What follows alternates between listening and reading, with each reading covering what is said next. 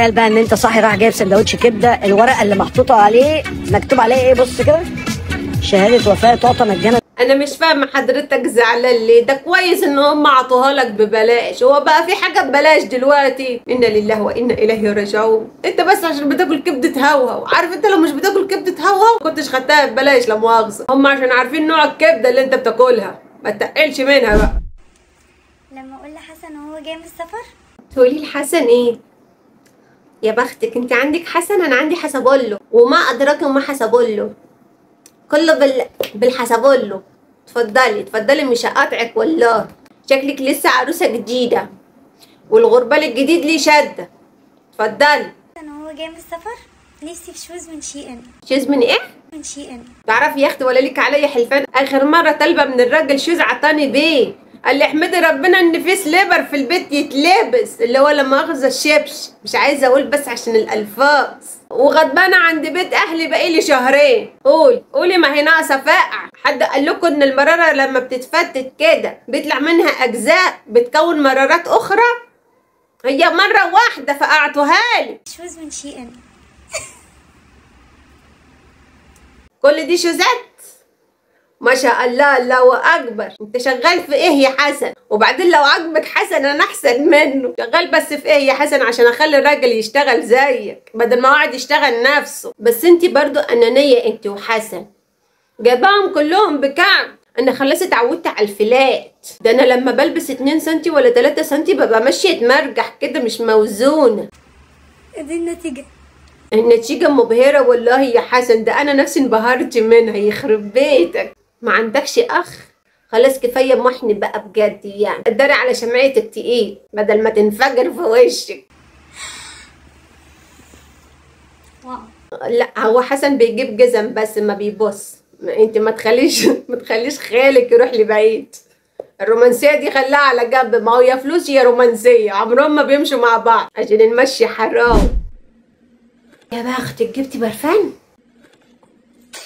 هو حد يا حبيبتي بيفتح الحاجة كده للكاميرا؟ إيه الكاميرا هتسندها لك مثلا. بطلوا مياسة بقى وامسكوا الحاجة كويس. بعدين يخرب بيت فقرك دي غالية جدا.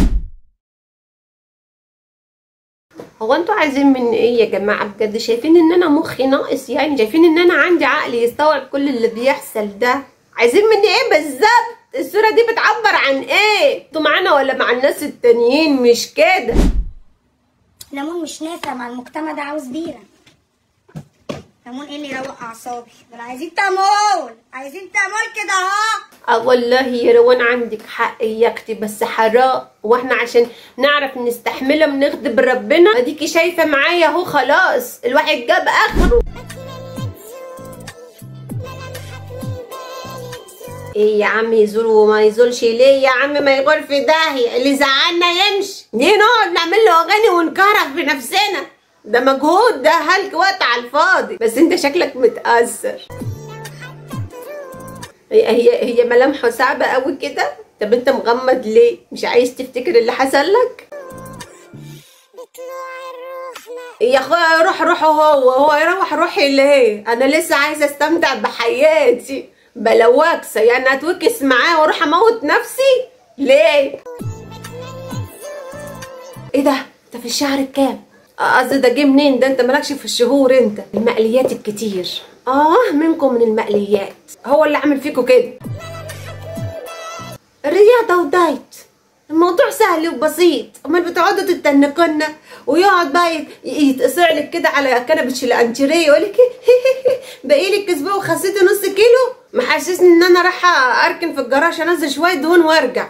في إيه؟ وبعدين إحنا لنا لا مؤاخذة وعذرنا عشان بنقف في المطبخ ونعمل أكل ودي حلوة ودي وحشة ولازم ندوق الأكل كله. وفي الآخر بنطلع كده على السفره عينات. مش دي مشكلتي معاك دلوقتي. أنت راجل ما بتخشش مطبخ وما بتطبخش. ده جه من إيه؟ من من القعدة. عارف أنت لو بتحرك نفسك هتبقى زي أختك كده. كرش مفيش خمسة وخمسة في عينك. شوف سبحان الله يا شيخ والله العظيم أنا بس ما شمتنا فيكم ولا حاجة. يعني إحنا لما بيطلع لنا لا مؤاخذة كرش بنروح للدكتور يروح و- وقاصص كده مرة واحدة تطلع فلات. إنما حضرتك لما بيجي لك كرش ما تقدرش تعمل حتى عملية. شوف سبحان الله يا شيخ الواحد مش عايز يعقدكم في حيشتكم أكتر ما أنتم متعقدين. ليكوا حق تغيروا مننا ليكوا حق تبقوا حاقدين علينا. عشان إحنا مميزين. ولا أوعى تلغي المتابعة يا هزعل منك هي مش معقول بصراحة الزاوية اللي حضرتك واخد منها الكرش كده. إيه؟ حاول تصاحبه كده وتتعود عليه يعني تقبله زي ما هو متقبلك وقاعد معاك. خلاص طبعا عشان إيه؟ الاحتكاك بالجلد هي- هيحصل لك تسلخات هيبقى جلد وتسلخات مش هتريح في البيت. ليه بعد الشر قتل ولا حاجة؟ الموضوع سهل وبسيط يا دنا يا أنا أدي لك الحل. كوبايه ميه بليمون لا مؤاخذة كده على الصبح دافية. وتفطر بداية واحدة من غير عيش. عيشوا عيشتنا بقى عشان تبقوا زينا. وصيام لمدة سبع ساعات. ممكن تاخد في النص تفاحية واحدة سمرة فاكهة واحدة من نوع واحد. يا رب نفهم. مش تاكل كيلو. وتنزل انت واصحابك على عربية الفول أنا بشوفكم الصبح. تخشوا في الصراع النووي. تقعدوا تضربوا في الفول كأنكم بتضربوا في قنابل ذرية. انت هدي أخلاقك كده عشان تعرف تتقبل الوضع. وقول لنا بقى تعرف تستحملوا اللي إحنا بنستحملوه ولا لا. أمال يا خالة بتحمل كنت عملت إيه؟ وفي عيل يقعد ينكش في بطنك كده تسع شهور ما تفهمش هو بيعمل كده ليه؟ ويمتص من دمك وأول كلمة ينطقها يقول لك بابا بابا. حاسبي وشي بس بألف هنا. إيه؟ متعصبه ليه على الصبح؟ بتضربي إيه؟ قصدي بتاكلي إيه؟ أنت تضربي ليه صح؟ أنت إيه؟ ما شاء الله. كل ده رفع.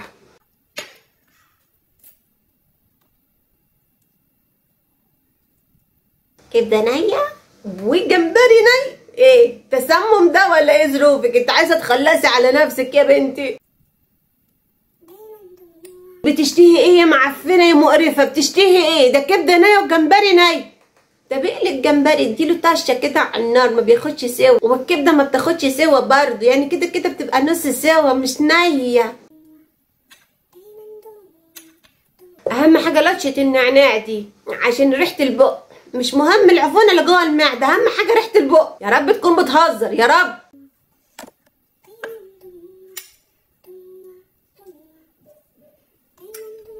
ما خلاص أنت بتطبخي في الرغيف ولا إيه؟ مش كده؟ عاملة لي فيها واحدة ورقيقة وشكلها زي القمر والحقيقة مختلفة تماما عن الواقع.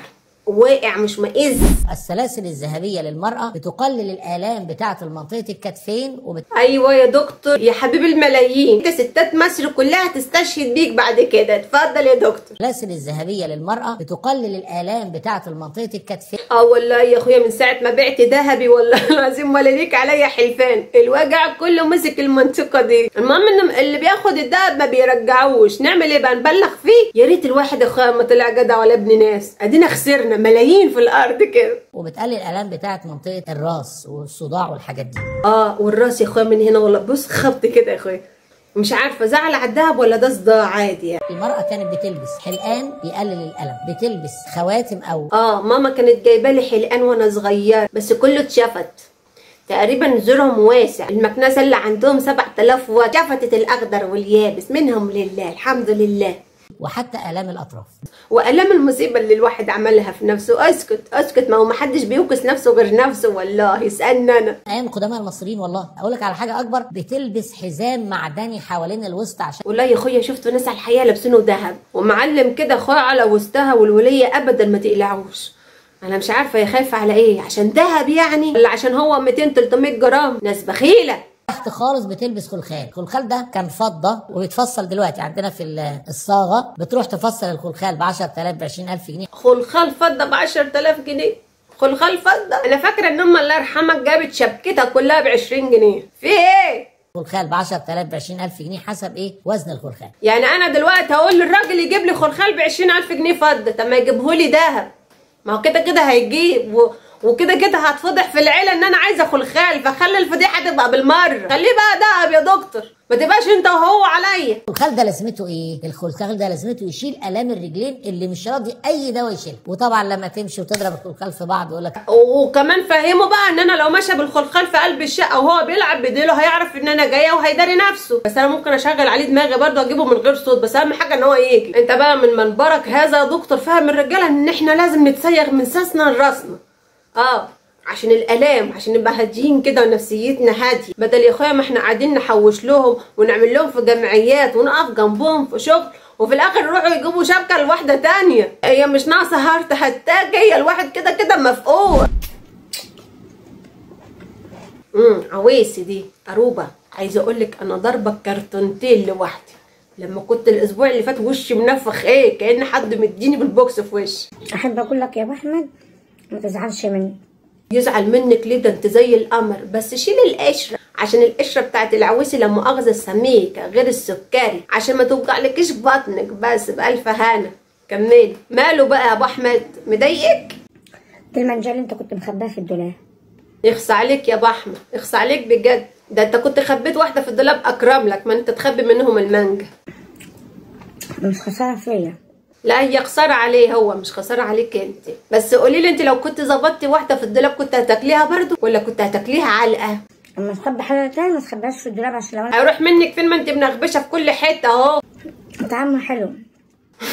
يا بنت أنت بتفرسيه أكتر ما هو مفروس. يعني هو يجي تفرس إن هو ملقاش المانجاية وأنت بتفرسيه أكتر وبتقولي انها طعمها حلو. طب قولي لقيتها مزلعة رميتها. اصلها وقعت مني فياعه جت على الأرض رميتها. أي حاجة من بتاعة الحريم دي؟ شكلك غلبانة زي أختك هتلبسها في الحيط. ليه ما تخبي حاجة تخبيها مني أنا وعيالك؟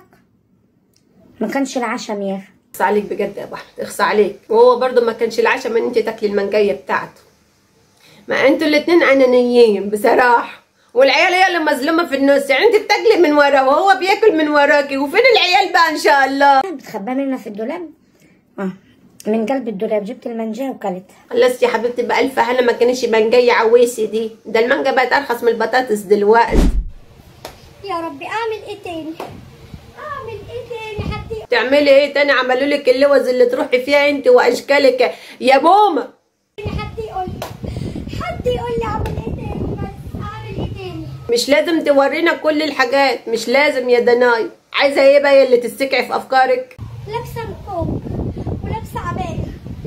ومحتشمه ومداريه مفاتني وجمالي. فين النقاب ده يا مزورة التاريخ؟ فين النقاب ده يا مدلسة الأفكار؟ لابسه عبايه ومحتشمة. فين اللي محتشمه ده؟ فين؟ ده هو إزاي؟ أنا مش شايفة. بعدين أنت لابسة النقاب غلط أصلا. فين النقاب ده؟ عشان ليه ليه طالعه طالعه طالعة عشان خاطر رزق عيالي. الثلاث أطفال اللي في رقبتي اللي في رقبتي مالهمش غيري بعد ربنا. طالعه عايزة نفسي نفسي نفسي يا ربي نفسي نفسي في أن يبقى عندي سند سند بعد ربنا. أقول السند.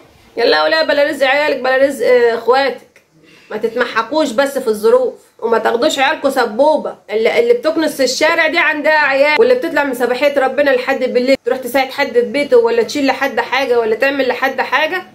ما دي برضو عندها عيال وعندها مسؤولية. أكل العيش مش في اللايفات يا حبيبتي انت وهي. ورزق العيال مش في اللايفات ها؟ وما أدراكي ما اللايفات واللي بتعمليه في اللايفات. ربنا يهدينا ويهديك. ده الخرطوم يا منى. النظافة وصلت معاكي للخرطوم يا منى. مش كده منى؟ ينوحها إيه دي يا منى. ده انت جوزك هيجي يعملك سجادة. وليه حق بصراحة.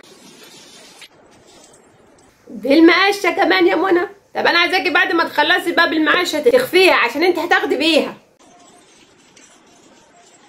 إيه اللي جيها اللي تتوكسي على عمرك؟ حرام عليكي بوظتيها. فكرتيني بأم الله يرحمها. عملت كده في التلاجة والتلاجة باظت. رحنا جبنا واحدة تانية. والله العظيم باظت يا جماعة. هذا حصل حقيقي. رحنا جبنا واحدة تانية راحوا غسلوها برضو بالخرطوم. يمكن عشان كانت الحاجة رخيصة وقتها فكان الموضوع سهل وبسيط. لا كده الماشية مش هتجيب معاكي نتيجة. انت اديلك بس إيه حتة سلك موعين قد كده وعشان إيه تاخد التجريحة دي. أو ارميها في الزبالة وريح دماغك. ما تضايقيش نفسك يعني. دي عادات وتقاليد الزواج يا جماعة. والحمد لله إنها مش موجودة عندنا هنا. عشان كان زمان ملطشة العريس واللي يتشدد للعريس. مش هنقول ام عشان عيب. نقعد كده لأم العريس عامل لها بروتة. أمي كانت جايبة لي العروسة دي زمان والله. كانت بتعمل كده. أنا ما ركبتي ما تستحملش. ما, ما تستحملش ال- الفرقة دي. بعدين الفستان أصلا أنا كنت طايقة نفسي بالعافية. هنزل أنا النازلة دي ليه؟ على أي طر إحنا طلعنا متدلعين. ده في ناس كتير يا عيني بتعاني ومستحملة وساكتة. تكرري نفس النازلة تاني؟ طب إيه مش خايفة على ركبتك؟ طب انت مدربة كمال أجسام ولا إيه؟ خلاص هي مرة واحدة. تحمد ربنا إن أنت عملتيها لها أصلا. يا ده أنت يا ده اظبط نفسك. يالا فيك إيه؟ أنت القطتين اللي أنت عاملهم دول مش مريحين. إيه؟ سوسن! عملك أصبع شخص يا دي روح بالجباسة اللي على دماغك دي عشان شكلها عاملة لك جبس في دماغك. واحد اثنين ثلاثة أربعة. يقول لك لا تثق في صديقك حتى لو كان متربي معاك في نفس ذات البيت. اسمع مني بس. أربعة خمس. خلاص يا دنيا غلط كده على دراعك. غلط والله العظيم ما تستهونوش بالحركات البسيطة دي. هذه المنطقة حساسة للغاية. خمس. ست. يا ابني ما تغمضش عينك وما تثقش في حد. بلا خمسة بلا ست انت جاي تتعلم القراية والكتابة هنا ولا إيه؟ لو دقيق وعنده ضمير. اللي قدامك يا حبيبي ما عندوش ضمير. خمسة. ضع مجهودك على الفاضي ما تثقش فيهم بقى ما تقعدش معاهم تاني. صلى على حبيبك النبي. شايفين التيك عليها أفضل الصلاة والسلام. إحنا شايفين أنت شايف؟ شايفين التيك فريزر دوت؟ قسما ديك؟ لا واضح حضرتك كده أنت اللي مش شايف مش أنا اللي مش شايفه وده ديك رومي ولا ديك بلد يا دنيا وانتوا بتتعاطوا إيه بس عشان نبقى فاهمين. عشان الواحد يتعامل معاكم على قد مستوى دماغكم كده ما يحطكوش في حتة وانتوا في حتة. دوت قسما بالله العظيم ب 2000 جنيه لما انت احلف براحتك. انت بعد ما قلت ديك هصدق ان ده ب 2000 جنيه؟ ليه؟ سرقه؟ ده انت لو جايب ديك رومي يطلع أغلى منه. شايفين التلاجة دي؟ الغسالة دي قصدي؟ يا ضنا انت لا عارف تفرق ما بين الديك ولا عارف تفرق ما بين التلاجة ولا الغسالة؟ لا ده انت تروح عشان أنا مليانة جروح ومش قادرة بصراحة. اللي بعده. إيه أنت بتبيع ولا بتضرب في الزباين؟ إيه الموضة الجديدة دي؟ بقيتوا تضربوا الزباين اللي إحنا ضايقناكوا في حاجة؟ ده هو يا دوبك 50 فصال 60 فصال وفي الآخر بتصدعني برضو بتدولي بنفس السعر. ما زاد وغطى عليا غير المناهدة. راسه ليه يا عم؟ بعد الشر عليا اللي هو أكبر. لسه العمر قدامي طويل. أورثه آه. يا ساتر يا رب. أنتوا بتبيعوا لنا الحاجة وتدعوا علينا ولا إيه؟ اللي اتكسر فداني اقف عليه اقف عليه اقف كمان اقف. آه والله آه يا اخويا فداك وفداك وانما ما تفولش عليا يعني إيه اورثه بعد الشر وبعدين انت منقي واحد سفيف يقف ما أنتوا عارفين طريقة الوقفة زي عشان الحاجة ما تتكسرش. جايين تسوقوا عليا أنا؟ أنا؟ يا ده أنا الاسفلت اشتكى مني يالا لا لا لا لا ده هو اللي بيتنطط اتكسر ده مش مهم ده بتنطط علينا والله مش بتنطط على البضاعة. يلا يا مصطفى انزل كده عيب يا مصطفى. انزل. عيب عشان ما اقولش لأمك. ده بقى لما تعمل دماغك بدماغ واحد مش على قد مستوى تفكيرك. بتفرض نفسك على الفاضي. بس يا معزة عيب احترمي أنوثتك واقعدي على جنب. ما تشتكليش مع الولاد. يا حبيبتي انت بتمقنقي مش بتهوهوي. انت اختلط عليكي الامر ولا انت عايزة تشتميه وخلاص؟ خلاص يا حبيبتي ما تعمليش راسك براسه. انت لما تردي على ولد مش محترم ان انت واحدة ست بتهزقي نفسك. عشان في ناس كتير كده مش متربية ناس التربية. خلاص بقى روحي بقى يا وليه ما تبقيش بتاعت مشاكل. الله. صوت اتنبح أنا بقول لك عيب انت بنت ومش بنت وبيضة وزي القشطة. روحي يلا. تستاهل عشان ما بتسمعيش الكلام. يا صاحبي ده إيه التحدي الرخم ده؟ طب وكده أنتوا هتفضلوا تقلعوا بقى في الشرابات؟ والله العظيم عيب عليكم. ويقول لك أنا سهران مع الشباب ومش عايز حد يضايقني وما تبقيش ولية شكاكة. إحنا بنشك في سلوكك. والله العظيم مش بنشك إن أنت معاك بنات.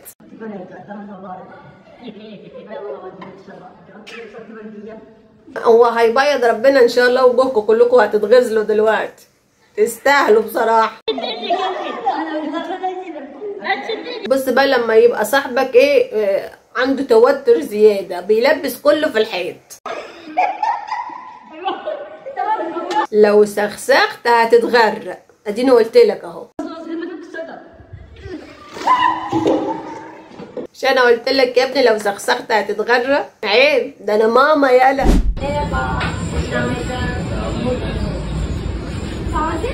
طازة حبيبتي انت مش مصدقاه ليه تعيل مؤذي ما تقول لها آه طازة لازم تلسعها يعني. هي بتفلي عينك. هي بتفلي عينك من الأمر لا مؤاخذة ولا بتفلي عينك من كتر ما هي دايرة كده على البنات رايحة جاية جاية رايحة.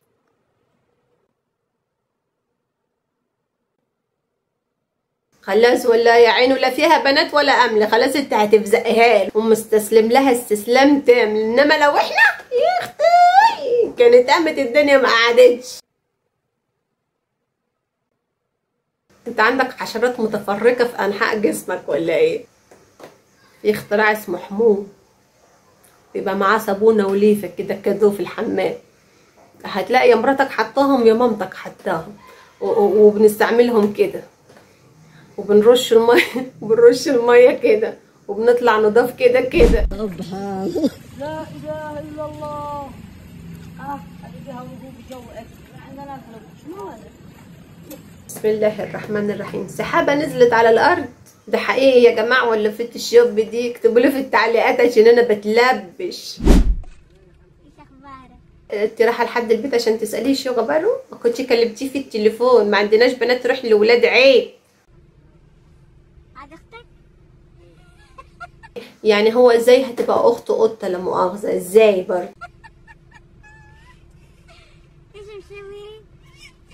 تستاهلي أهي القطة جت تسلم عليك اتخدتي ليه دي؟ بس بس صغننة كده تاخدك بالحضن.